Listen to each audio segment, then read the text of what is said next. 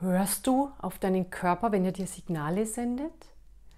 Kannst du die Kraft und die Energie in deinem Körper wahrnehmen und fühlen? Oder ist er einfach nur da?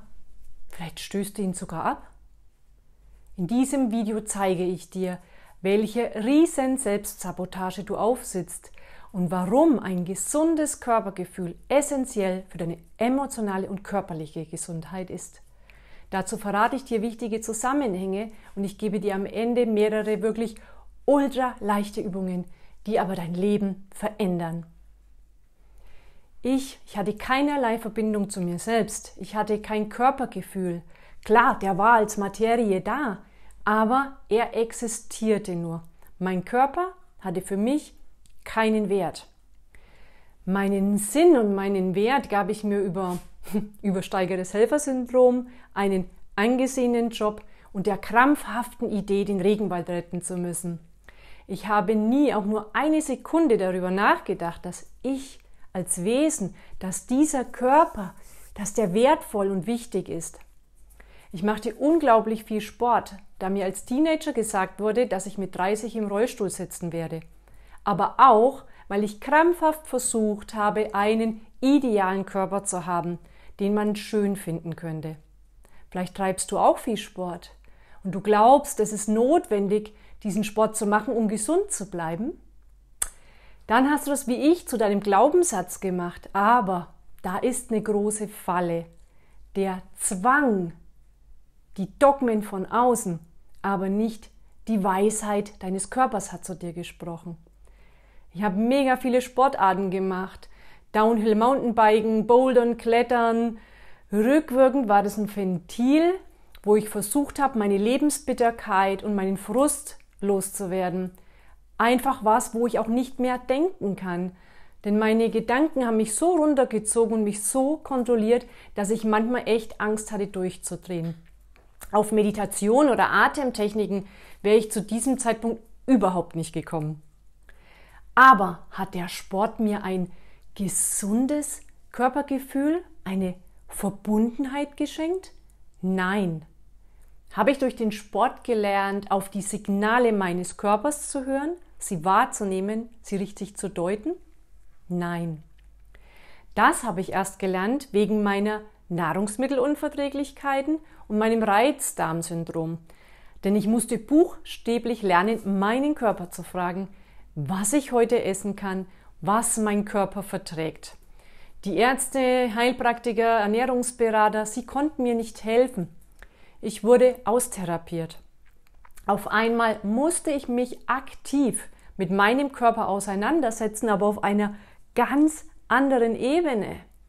Das war auf einmal nicht mehr nur so ein Ding und diese ganzen Signale, die ich einfach ignoriert habe. Auf einmal hatte mein Körper das Sagen und ich musste auf den hören. Aber das hat mir eine Tür geöffnet. 2018 sagte mal ein Meister zu mir in Indien, höre auf niemanden, auch nicht auf mich, dein Meister ist in dir. Und das habe ich ewig nicht verstanden bis ich diese Verbindung zu mir wiederherstellen konnte. Mein Körper hat mir gesagt, wie viel ich essen soll, was ich essen soll, wann ich essen soll. Und ich habe nicht mehr auf diese Dogmen von außen gehört. Nach 17 Uhr soll man nichts mehr essen, früh ganz viel, abends ganz wenig, wie oft am Tag, denn mein Körper wollte etwas anderes. Mein Körper funktionierte nicht so, wie diese Dinge da von außen mir erzählt wurden. Also habe ich gelernt, radikal mit meinem Körper zu kommunizieren, aber auch ihn zu wertschätzen für das Wunderwerk, das er ist. Dieses Herz, was einfach schlägt, unsere Atmung, was der Körper alles heilen kann und auch was ich wahrnehmen konnte. Wenn ich an einem Baum angelehnt war, konnte ich ganz andere Körperteile wahrnehmen oder wenn ich an einem Stein, an einem Fluss saß. Und ich wurde gesund. Ich habe mein Reizdarmsyndrom besiegt und ich sitze mit 47 nicht im Rollstuhl, obwohl mir das für circa 30 diagnostiziert wurde. Ich kann jetzt Kniebeugen machen und in die Hocke gehen, was ich nach meiner Knie-OP mit 16, 30 Jahren nicht konnte. Schräg, oder? Aber was das aller, aller, aller krasseste ist, und da liegt die Kunst und der wahre Segen. Höre darauf, spüre hinein, was braucht dein Körper wirklich? Wie viel Bewegung braucht dein Körper wirklich? Welche Art von Bewegung braucht dein Körper wirklich? Was macht deinem Körper, dir, deinem Wesen wirklich Spaß? Denn es ist ein mega Unterschied aus Zwang oder gesunder Gewohnheit. Und wenn du wieder so eine gesunde Verbindung zu deinem Körper hast, dann wird er dich führen. Er wird dir ganz genau sagen, was er braucht, wann er Entspannung braucht. Denn das habe ich ja schon mal in einem Video erklärt. Das findest du auch unten in der Videobeschreibung, wie wichtig auch bewusste Entspannung ist. Denn allzu oft sind wir in unserem Leben Getriebene, im Hamsterrad der Verpflichtungen, in diesem Du musst, du musst funktionieren. Wenn du nicht funktionierst, bist du nichts wert. Und diese Falle des Getriebenseins, in die kommt man auch schnell mit dem Sport. Du musst Sport machen, sonst bist du fett, sonst bist du krank, sonst bist du hässlich. Aber Bewegung soll in Einklang mit deinem Körper sein, in Bewusstheit und aus deinem Körper heraus mitgeteilt. Also Schluss mit all diesen Dogmen, die dir irgendjemand eingeredet hat. Dein Körper ist dein Meister, dein Tempel deiner Seele, dein Heiligtum.